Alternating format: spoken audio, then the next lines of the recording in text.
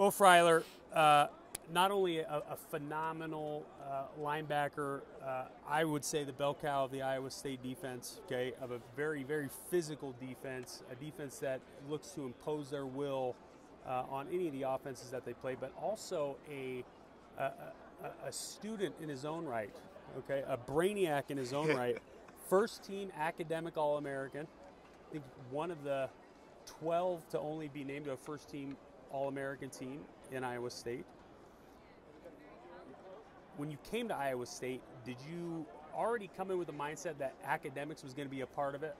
Yeah, so growing up, you know, school academics was a big deal. My mom, she's a teacher, so, you know, she always kind of instilled that in me to take academics serious. And so, yeah, just took care of business these past couple years, and, you know, it was, it was, an honor to get that, that uh, accomplishment. What are you most excited about uh, in terms of, of the upcoming season, about the new uh, opponents that you'll be facing, right? I mean, you got some tough opponents coming in from the Pac 12. Yeah. What are you most excited about?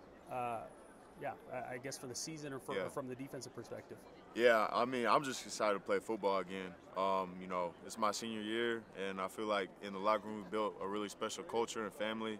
Um, and just playing one more year with my boys, that's really, you know, it doesn't get better than that. So I'm just excited to play football one more year.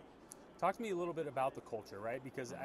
I, I, think on, especially on the defensive side of the ball, there there is more of a. I was an offensive guy, right? I played yeah. wide receiver.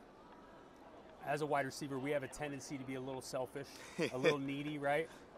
The defense is the complete opposite, right? Yep. Not one person is above the other. Right. You're all in it together. It takes all 11 guys as a unit to mm-hmm. make a stop or to, you know, uh, uh, uh, go, you know, uh, cause a three and out with the offense. Right. Um, is that something that, that you guys kind of pride yourselves on or work on during the off season? Is that a culture that your guys, is, you know, that the head coach has set for you guys? Yeah, hundred percent. Um, and really, the whole you know motto um, this off season going into the season for the defense is today we fight, and so that's just something that we pride ourselves on. Is you know no matter how you feel or whatever situation or adversity you're going through in your life is you know when you walk into the facility you fight and you you do all you can that day to get better. And so you know, I feel that fits the defense because, like you said, it's it's not a one-man job on defense. It takes all 11 to do their assignment every single play to, you know, just give yourself a chance to have to have success. So, um, man, I, I really, you know, love the defense we got here. Love the guys that we got